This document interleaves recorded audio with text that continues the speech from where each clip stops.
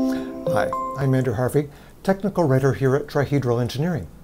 My job is to make sure that you have all the information you need in order to build your monitoring and control applications. Now to start, I want to make sure that you're aware of all the features and options that are available to show you how to use this program. Now, first, there are these videos. In these, I cover topics from the various training courses, but cut up into nice 10-minute chunks so that they fit into your busy schedule.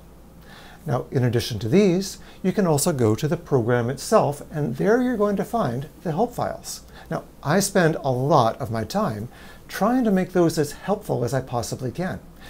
In there, in addition to a complete VT-SCADA reference, you're also going to find a tutorial.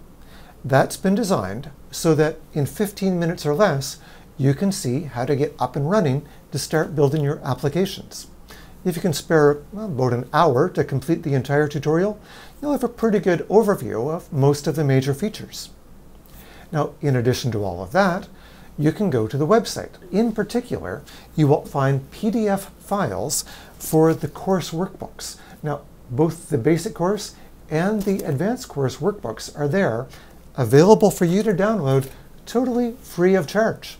You can also find all of the exercise files that you'll need.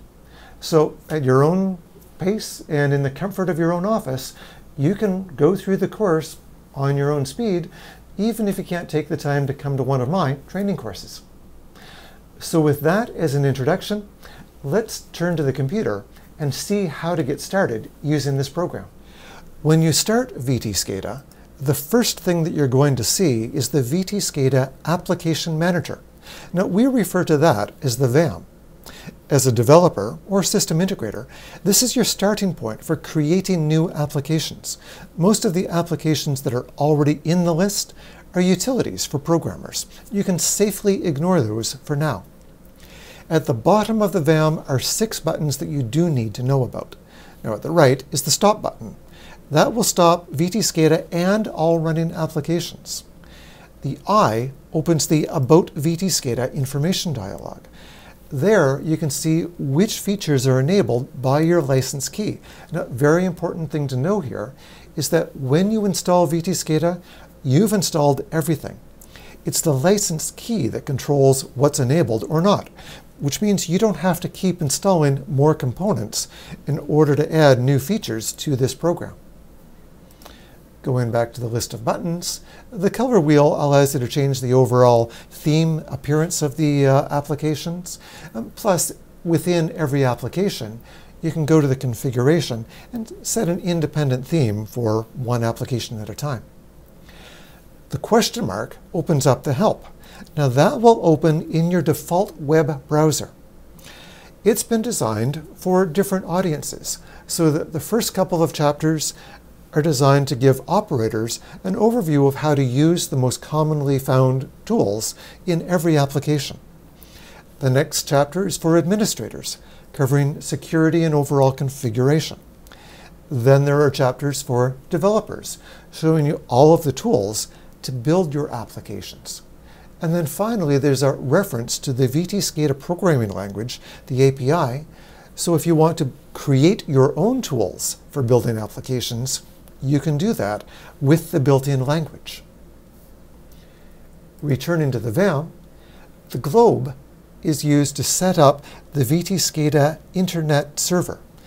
If you plan to allow operators to connect to your application over the Internet, or if you plan to use the VT-SCADA ODBC driver to, to query your tag database as if it were an SQL database, then you'll need to configure the server using the dialogues found there.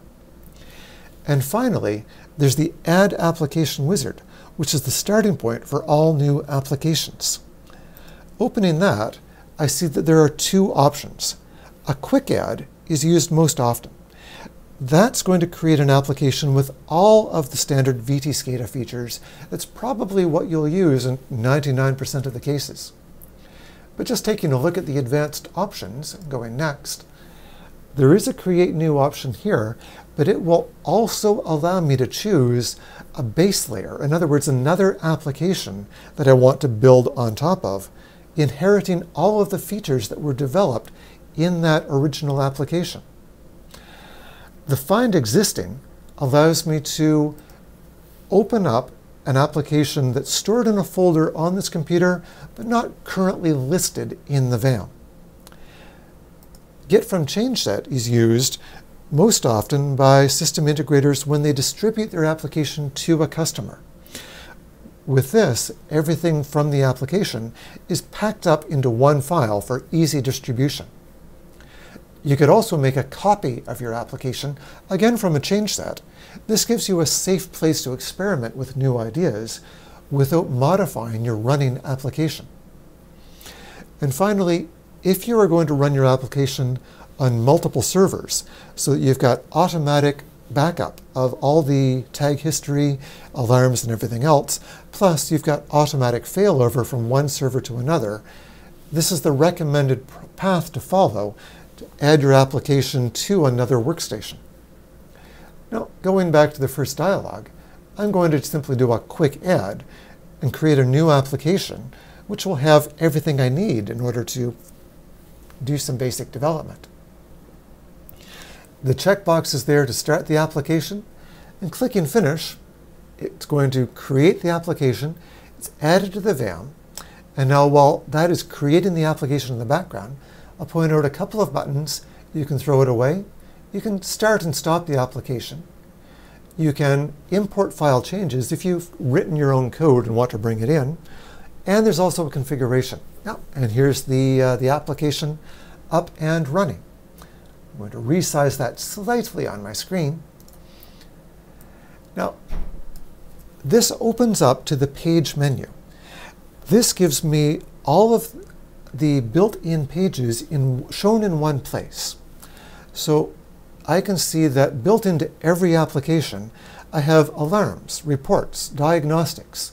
All of these pages are given to you right off the start, so you don't have to build these on your own using my navigation button to go back. I also have remote sites. So if I have geographically linked sites, I can put pins on a map, and those pins can then open up a site page that will give me a list of all of the I.O. It's built automatically for you, and it's a very handy feature. Again, going back, there are some sample pages that give you both an overview of what can be done, plus everything that's shown in those sample pages, you can copy and paste to reuse these features in your own application.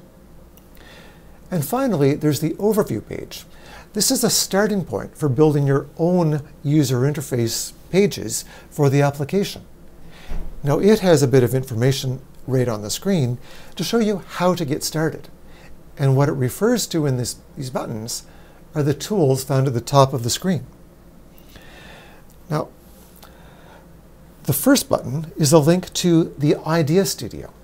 The Idea Studio is where you create the pages and build the user interface for the entire application. The next button over is the Tag Browser. The Tag Browser is used to create the linkage between your application and the physical hardware that runs the actual um, system, whatever you're building. So you'd build in a port drivers for whatever driver you have, and all of the I.O. using the tag browser. The tags, once you've built them, can then be displayed in the Idea Studio by linking those tags to widgets. The configuration button allows you to configure pretty much anything you can think of related to the overall appearance and also how the application runs pretty much anything that's not a tag or an actual display piece, you'll find something within the application configuration dialog to build it. Finally, there are three more buttons. The Add Page Note, that's for operators to create the equivalent of a yellow sticky on the page. This is often used if they want to, uh, to leave a message at the end of one shift for the next operator coming in with the next shift. You can use the Print button to send a copy of any page directly to your system printer. And there is the alarm icon, which is one of the many links to the alarm page.